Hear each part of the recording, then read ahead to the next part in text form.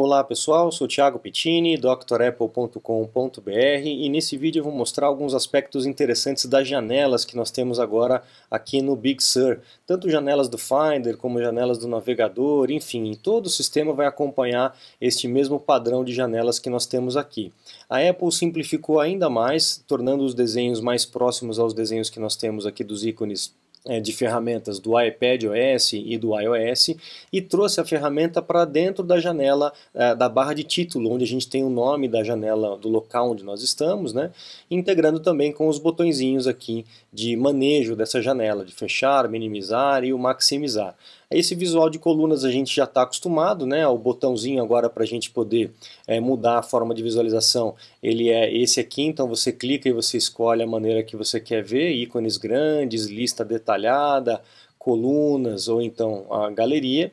E a gente sabe que a gente, é, no caso nessa opção aqui, o, o, o conjunto está agrupado dentro de um menuzinho de pop-up de escolha, né?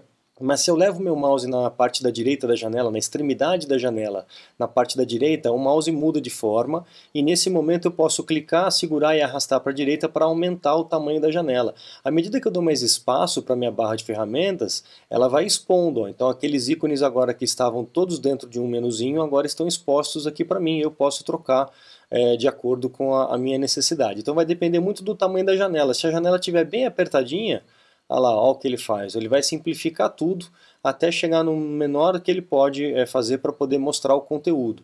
E tudo vai ficar dentro das setinhas. Dentro das setinhas você tem as outras opções ok?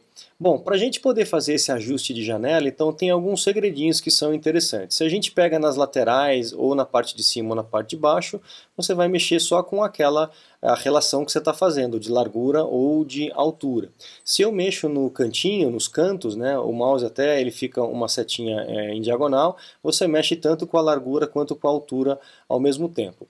Mas tem alguns segredos, por exemplo, se eu for mexer na minha lateral aqui e eu clico seguro, aperto o Option no teclado, então fico segurando o Option e segurando o mouse e arrasto o meu mouse para a direita, Olha lá, ele mexe proporcionalmente de um, de um lado com o outro, tá vendo?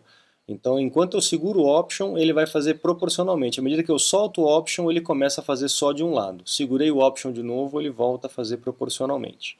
Tá? Então, se eu fizer essa movimentação enquanto eu estiver segurando o Option, ele faz isso é, com o outro lado proporcionalmente. E, inclusive nos cantinhos, tá? Então, se eu clico e seguro no cantinho, aperto o Option no teclado e, e abro, ele vai mexer proporcionalmente e eu posso chegar, inclusive, deixar aqui em tela cheia, né, em maximizado, é, sem estar naquele modo de tela cheia onde desaparece a barra de menu, desaparece o dock. Tem muita gente que não gosta que desapareça.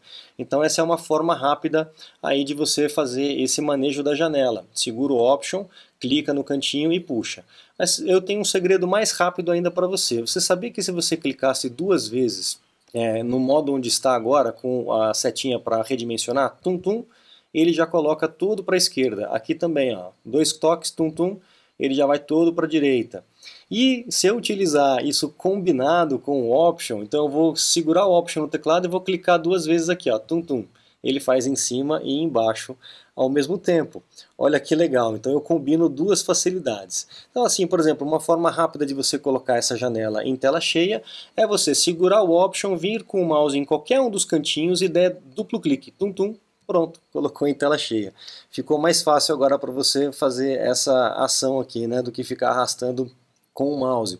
Uma outra coisa interessante, vamos supor que eu esteja aqui com um monte de janela aberta. Então eu vou abrir um monte de janela do Safari, vou deixar uma confusão danada aqui e tal.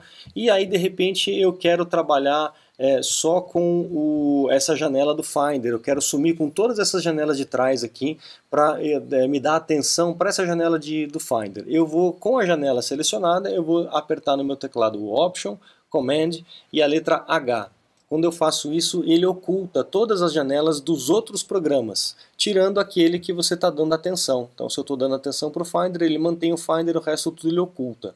Eu perdi as minhas janelas do Safari? Não, elas só foram ocultas. Se eu clicar no ícone do, do Safari aqui, ele traz as janelas todas de volta. Tá? Então é isso, aproveite o curso do macOS Big Sur, o curso completo você pode encontrar lá no site drapple.com.br, já está disponível, matricule-se para que você conheça o curso desde o começo, mesmo para você que já mexe no Mac já faz tempo, o curso é muito bom, vai te dar fundamentos que eu tenho certeza é, que só fuçando a gente não consegue aprender, então vai te facilitar, vai te dar ferramentas novas, utilizar tudo que o Mac e esse sistema novíssimo acaba de oferecer para a gente. Então aproveite lá o curso, lá no site drapple.com.br. Muito obrigado, um grande abraço e até a próxima. Tchau, tchau.